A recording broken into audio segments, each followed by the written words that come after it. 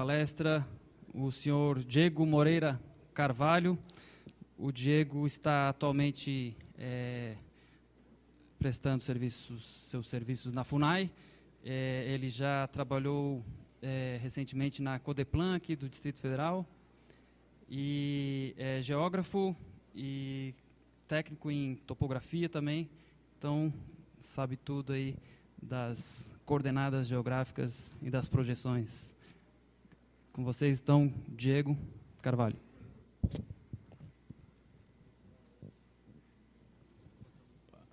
Beleza. Bom dia. É...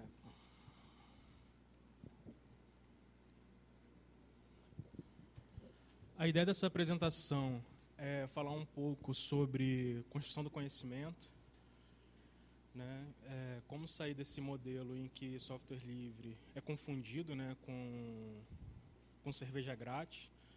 E eu acho que vai ter mais gente né, que vai abordar esse, esse tema também na, no seminário. É, não é uma, uma informação, não, não é uma apresentação de caráter técnico, então assim é mais uma comunicação. É um pouco da, da vivência que, que eu tive nesse, nesse período, né, mexendo com software livre.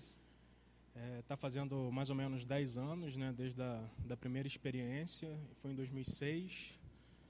E minha primeira experiência foi com programando em C++ com a TerraLib, né? E foi evoluindo e em 2009 eu comecei a programar para o QGIS, fiz um plugin para o QGIS. É, influência do Luiz Mota, né, que falou, cara, dá uma olhada nesse software, né?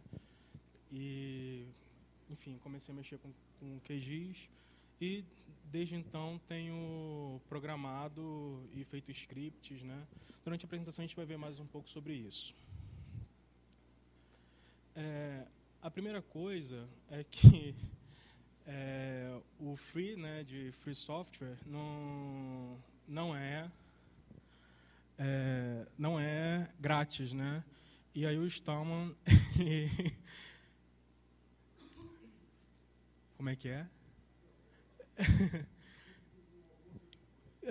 tá. E aí no ele é tá mais relacionado com o free speech, né, com a liberdade de expressão.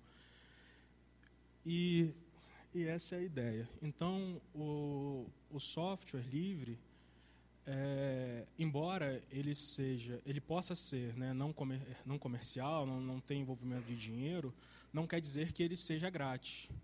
Né?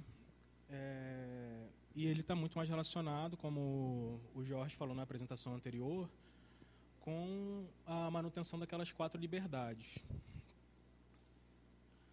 Aqui está um sumário, eu fiquei bem tranquilo depois da apresentação do MP, porque eu, minhas apresentações são sempre horríveis. E aí eu falei, cara, tô de boa, porque não preciso me preocupar. A gente vai passar por esses itens, né? Opa, como é que eu uso o apontador? A gente vai ah, passar por esses itens aqui. Esses itens eles não acontecem em sequência, não acontecem sempre todos, né? mas eles acontecem, né? Tomara que aconteçam todos. Então, o a questão da liberdade, né? Ela também não é, não tem a ver só com a minha liberdade e nem também apresentar somente o software livre para uma outra pessoa para que ela seja livre.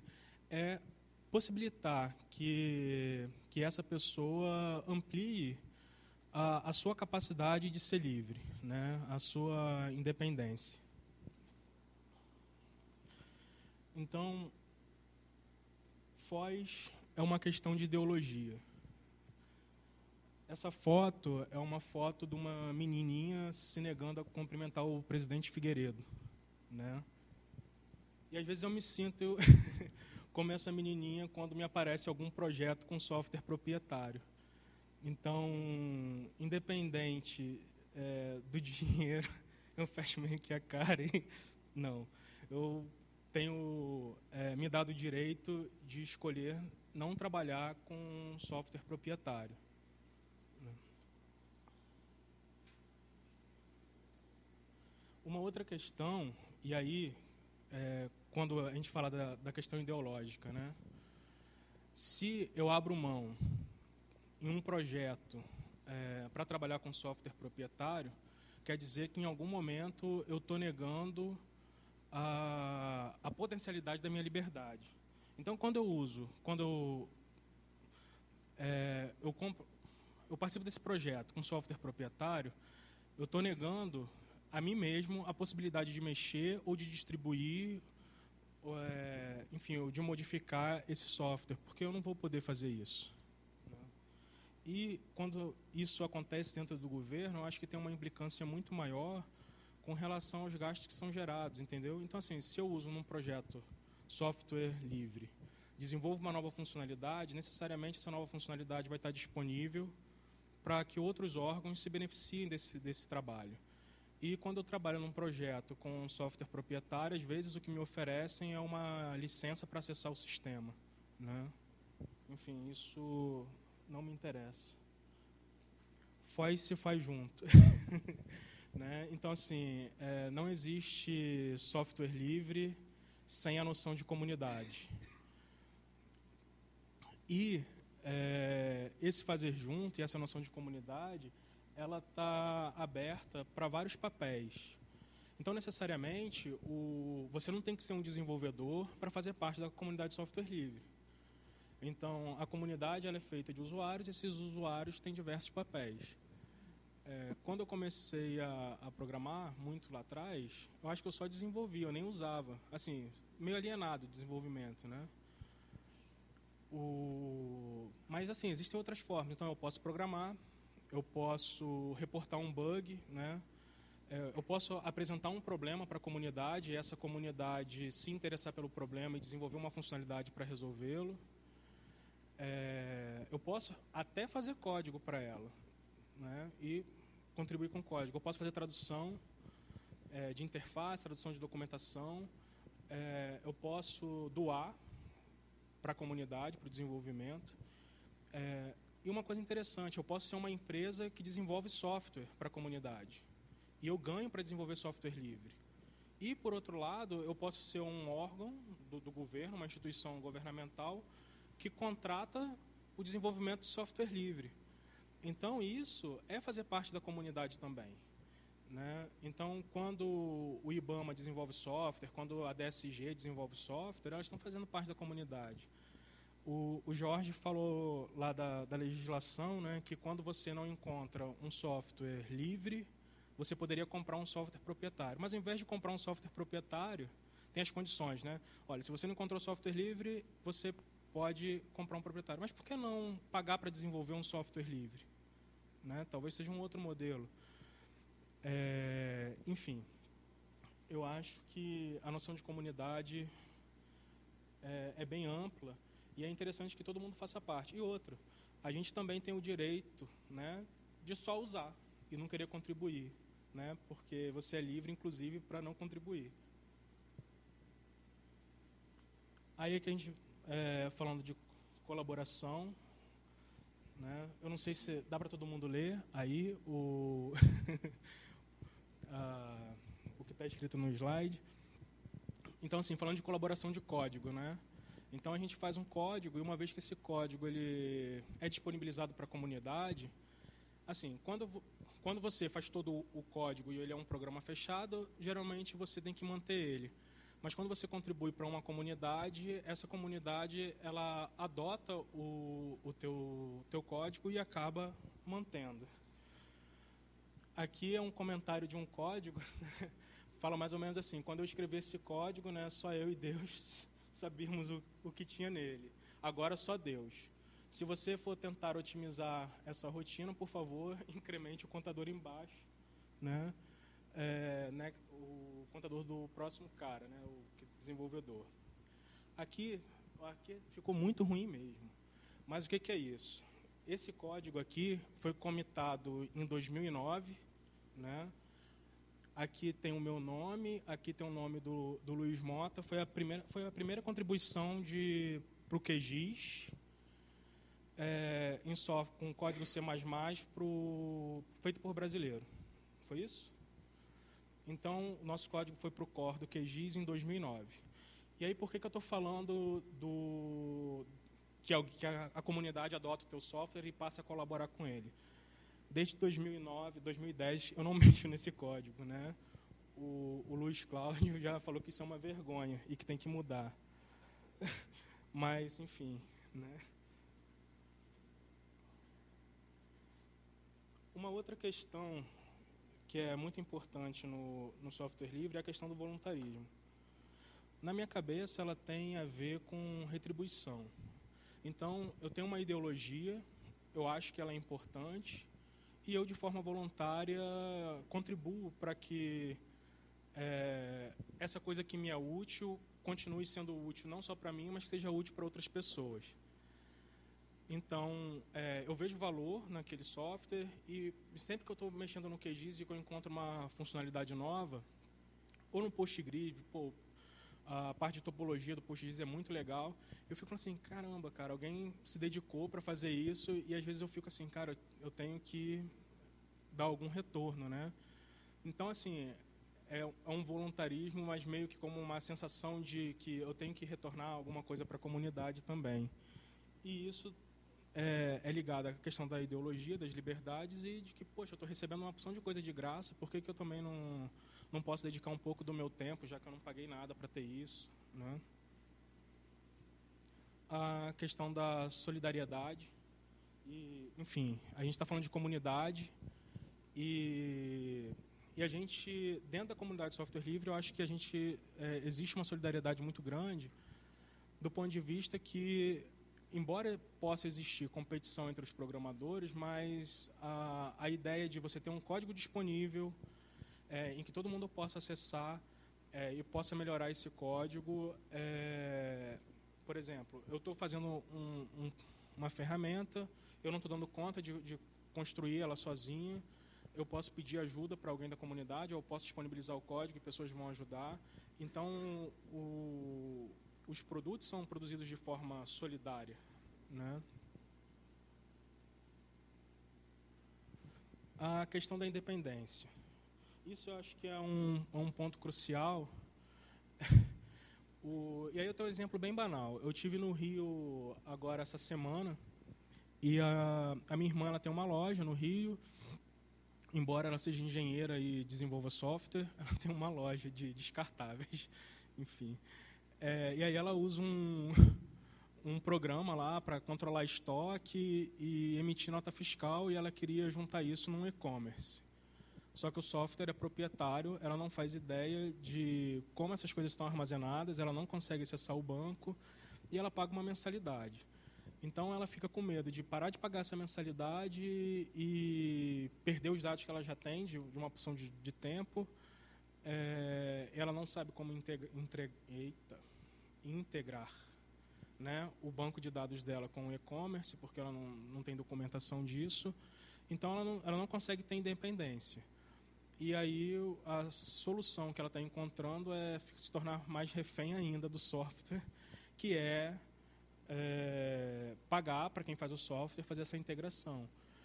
E quando você tem o software livre, você tem independência para fazer essas coisas, porque, em princípio, é, você tem a documentação do código, você tem como isso é feito e você tem o próprio código-fonte.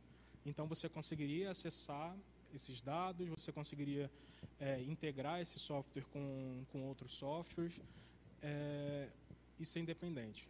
Questão de governo, eu acho que também é uma situação crítica. É você colocar os seus dados.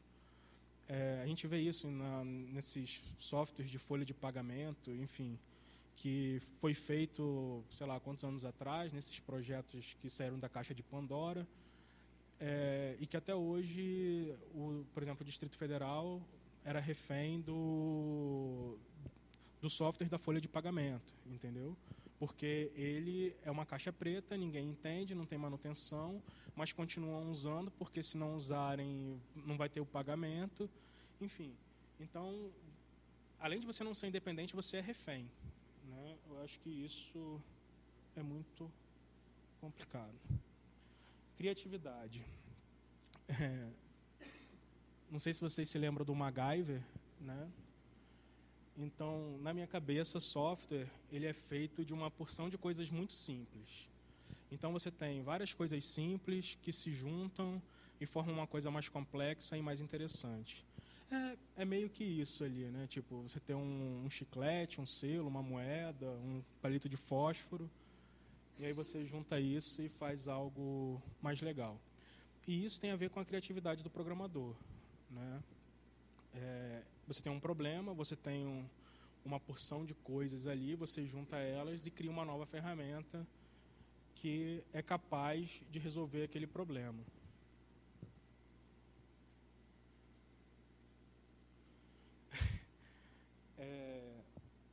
Outra questão é que eu falei um pouco lá no voluntarismo é a questão da gratidão. Então, quando é, que é aquilo? Poxa, cara, eu estou usando uma porção de software e de bibliotecas que são uma mão na roda, que me ajudam a ganhar dinheiro, a, a tirar o meu sustento, é, porque alguém sentou e fez aquele código e disponibilizou. Por que não, quando eu sento e faço algum código, por que também não disponibilizar esse código para a comunidade?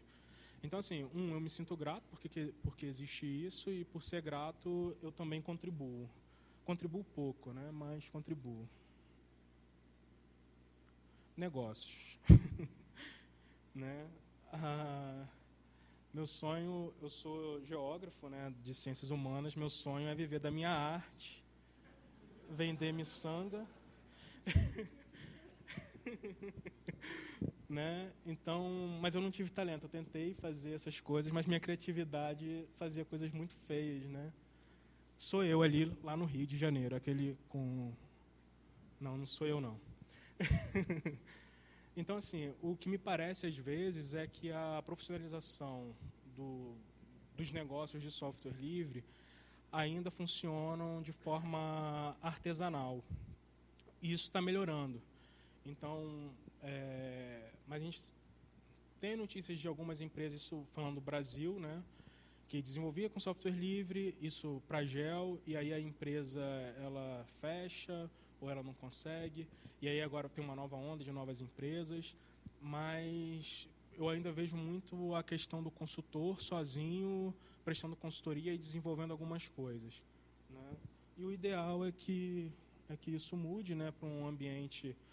Não precisa ser tão sério nem usar terno e gravata, mas que tenha um ar mais formal, né, para mais profissional, que, que garanta mais direitos para os desenvolvedores e que esses negócios eles sejam suportados pelas instituições. Então, assim, quando a instituição começar a contratar desenvolvimento de software livre, né, e, e exigir que esse desenvolvimento seja realmente de software livre, que vá retornar para a comunidade, é, eu acho que a gente começa a ter um, um mercado mais formal com relação a isso.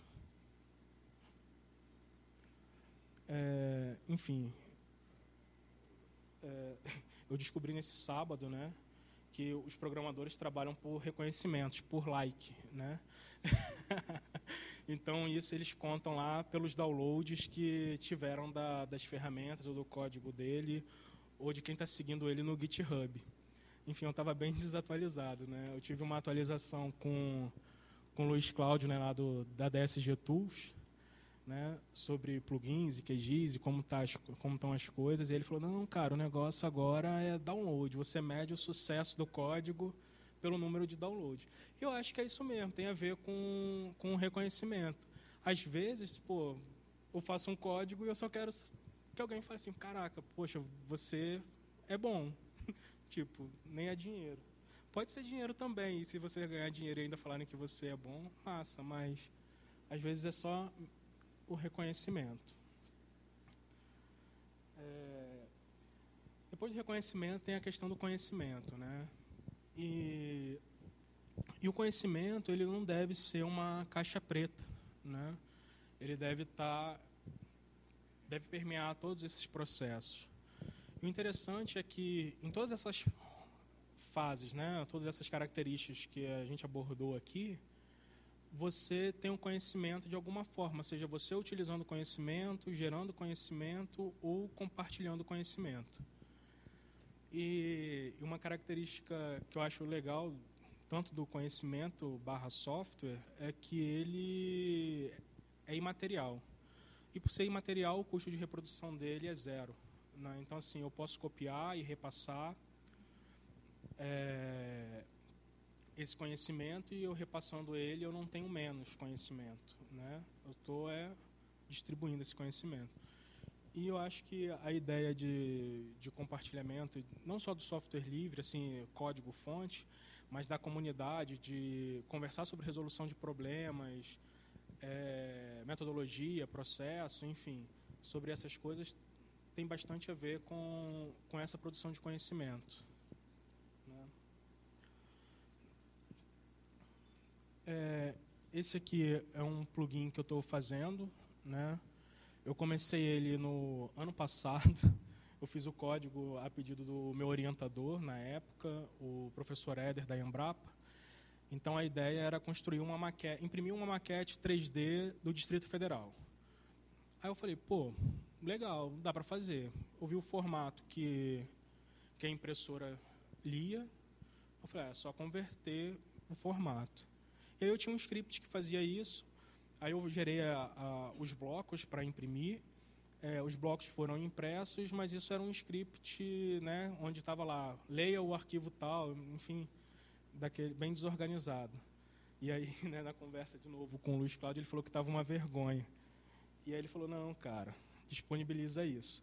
E aí de sexta-feira para cá, não, de sábado para cá, a gente começou a fazer essa telinha, a tela, né, e para disponibilizar ele como um plugin no QGIS. A ideia é que eu tenho uma camada que é um modelo digital de elevação. Aí aqui eu coloco a dimensão da minha impressora, né, tanto nos três eixos, em X, Y e Z, nessa telinha. Eu escolho a escala horizontal e a escala vertical. E aí, o problema de um outro plugin que eu descobri que já tinha no QGIS, depois né, que eu comecei a fazer, é que ele não faz essa articulação. Ele só gera numa escala fixa. Você, se você bota a escala, ele ajusta o tamanho do bloco. Ou se você ajusta o tamanho do bloco, ele ajusta a escala. Aqui você tem independência entre isso e ele cria essa articulação para você conseguir imprimir o teu modelo na, na escala que você precisa. Então, conforme você vai mexendo nos, nos spin boxes aqui, ele vai mudando o tamanho da grade e você tem noção de como vai ser impresso o seu modelo. Esse aqui é um bloco, né, o arquivo STL, que a impressora 3D lê. Né. Esse aqui foram os três modelos, ou melhor, um modelo que foi impresso com três exageros diferentes. É, a ideia disso é montar uma maquete, ela vai ficar aqui na Embrapa Cerrados a gente vai ter um projetor que vai projetar os mapas de uso e cobertura do solo, do DF, de uso e cobertura da terra, é, e outras informações em cima do relevo. Ele vai ser impresso em branco. Então, a ideia é você ter um modelo físico, não é um holograma, mas você tem a, a maquete mesmo, você pode ver e sentir. É uma experiência para de fins educativos. É isso. Obrigado.